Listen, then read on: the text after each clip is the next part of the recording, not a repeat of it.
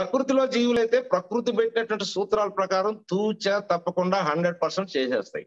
మరి ఇప్పుడు ఆ మెకానిజాన్ని మనం అప్లై చేసుకుంటే ఎలా ఉంటుంది? అసలు ఎలా అప్లై అయింది? ఇక్కడ కొంచెం జంక్షన్ చూడాల్సి వస్తుంది మనం. ఈ జంక్షన్ ఏంటంటే ప్రకృతిలో అన్ని జంతువుల్లాగే మ్యామల్స్ లాగా ఉన్నటువంటి మనిషి పరిణామ క్రమంలో పరిణామ క్రమంలో మానవుడు నరావతారం. మానవుడిగా అవతారం చెందట్లో రకరకాల రకరకాల స్టేజ్లు దాని అంతా మీరు పరిణామ శాస్త్రం చూస్తే మొట్టమొదటిది ఆ బొటనేలు. మిగతా జంతువులకి మనకి బొటనేలు ముందుకు రావడం ఇది మిగతా జీవుల మీద ఒక ఆధిక్యత సంపాదించడానికి ప్రైమేట్స్ అంటాం వీటిని. ప్రైమేట్స్కి వచ్చింది. పట్టు దొరకటం అనేది. ఒక కోతికి ఎప్పుడైతే పట్టు జరిగిందో ఒక జంతువు వచ్చినప్పుడు టక్కని అనేది ఎగిరి అవతల కొమ్మను పట్టుకుంటుంది. అంటే సర్వైవల్ ఛాన్స్ ఎక్కువైంది.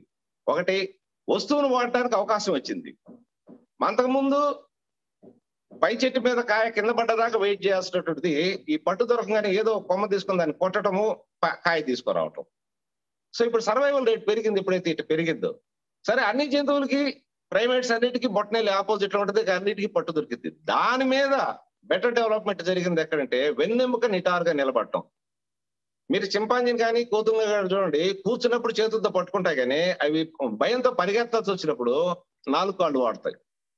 సో ఎప్పుడైతే మనిషికి మనిషి అంటే మన పూర్వులు నిటారుగా నిలబడటం వెన్నెముక ఎప్పుడైతే వచ్చిందో ఈ పట్టు దొరికినట్టు చేతులు ఫ్రీ అయిపోయాయి. సో పరిగెడుతూ కూడా చేతులు వాడచ్చు. సో ఇది ఇది ఒక అడ్వాంటేజ్ ఇది ప్రైమేట్స్ అంటాం దీన్ని దీన్ని. హోమనాయిడ్స్ ఆ తర్వాత పరిణామంలో ఆ రకమైనటువంటి మనిషి పూర్తి మనిషిగా తయారయ్యేటప్పుడు ఈ శరీరాన్ని వాడటానికి సంబంధించినటువంటి మొత్తం బ్రెయిన్ ప్రోగ్రామింగ్ ప్రకృతిని గమనించటం ప్రకృతి సూత్రాలను గమనించటం ఇవన్నీ వచ్చేసరికి మనిషి బ్రెయిన్ ఆ మిగతా జంతువులకు పెట్టినటువంటి బ్రెయిన్ చాలా మెకానిజం. ఎందుకంటే దాన్ని ఆపరేట్ చేయడానికి దానికి సిస్టమ్ ఉండాలి.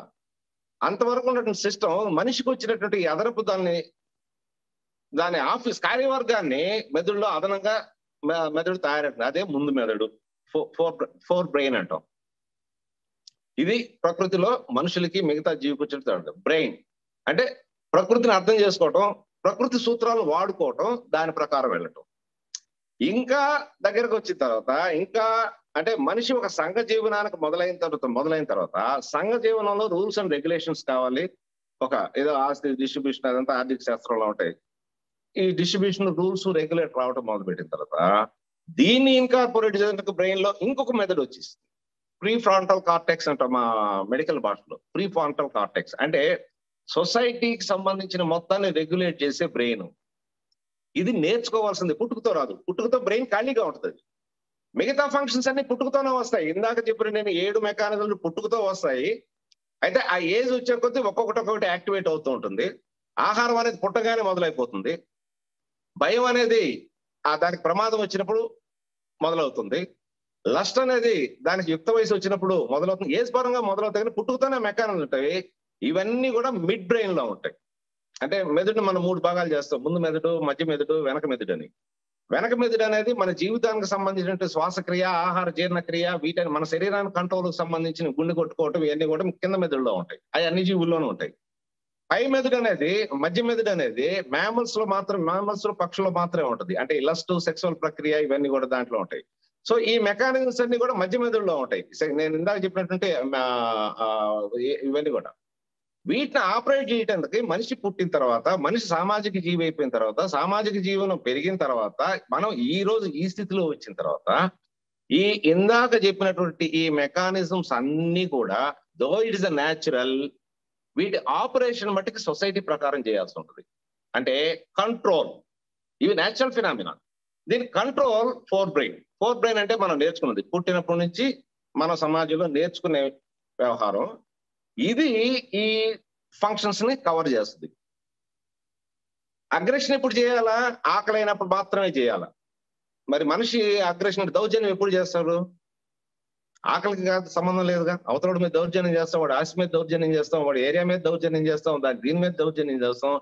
ఇష్ సోషల్ ఫినామినా ఎప్పుడైతే మానవుడు యానిమల్ స్టేజ్ నుంచి సామాజిక జీవితానికి వచ్చాడు అంటే ఆటవిక దాని నుంచి సామాజిక జీవనానికి వచ్చాడు ఈ సామాజిక జీవనానికి సంబంధించిన మొత్తం ప్రకారం ఇవి నడవాలా. నేను ఇందాక చెప్పినట్టు బేసిక్ మెకానిజమ్స్ నడవాలా. అంటే సోషలైజేషన్ అంటాం hi I'm Rajeshwari please like share and subscribe GRTV channel Kaveti Lakshminarayana.